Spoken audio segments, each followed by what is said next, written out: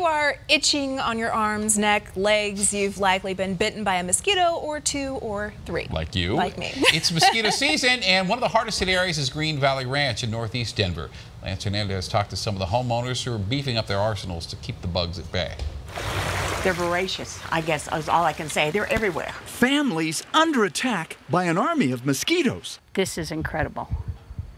I had family here over the weekend and friends, and I mean, we couldn't stay outside. Deborah Meglio says the mean little critters have left her with bites in places she can't show. I mean, it's typical. Mike Weissman at Vector Disease Control International says our extended wet spring contributed to the problem.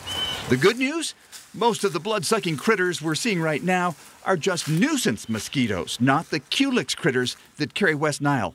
But Weissman cautions there are Culex mosquitoes out there. These are mosquito wristbands and I've gotten eight of them because I'm giving them to my grandchildren to wear tonight. Deborah Meglio not taking any chances with her family's July 4th celebration. She has sprays, lotions, even special plants for protection. Oh, it smells wonderful. It smells like lemon. It smells much better than anything I've put on my body. She also got an extra bug zapper to complement the one that's been working hard. I heard it all during the night, and you can see it's now coated with, with, uh, with mosquitoes.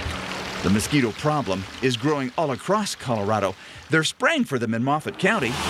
In Weld County, the health department warns that increasing hot weather and afternoon thunder showers create favorable conditions for the Culex mosquito that carries West Nile virus.